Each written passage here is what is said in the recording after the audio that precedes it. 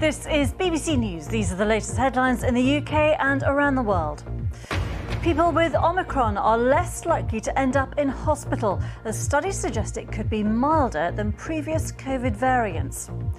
Scientists say they're cautiously optimistic, but warn the sheer number of infections could still lead to hospitals being overwhelmed. New South Wales proposes to charge unvaccinated people for COVID medical costs. The Doctors' Union says it's unethical. Erasing history, a statue in Hong Kong commemorating the Tiananmen Square massacre is dismantled. Hang on, hang on. We're looking for a 15 months old. Hey, baby. Both of them are okay, Oh, man. praise God, Lord Jesus. Oh, oh thank you, Jesus. And rescue footage emerges of two babies being pulled alive from the rubble of Kentucky's tornado last week and handed over to their grandmother.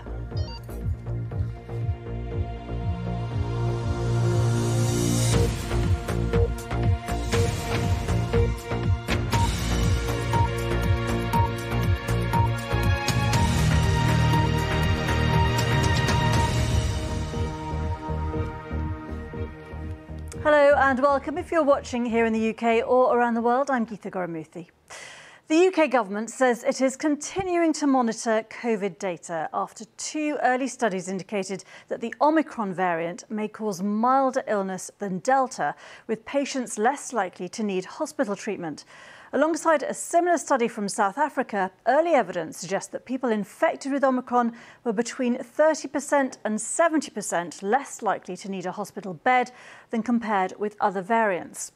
One of the scientists leading the research, Professor Neil Ferguson from Imperial College London, said the data is good news to a degree, but a big wave of infections could still overwhelm health services. Well, the UK has reported more than 100,000 new daily infections for the first time yesterday. In Spain, the Prime Minister Pedro Sanchez has announced plans for the mandatory wearing of face coverings outdoors following a steep rise in COVID 19 infections.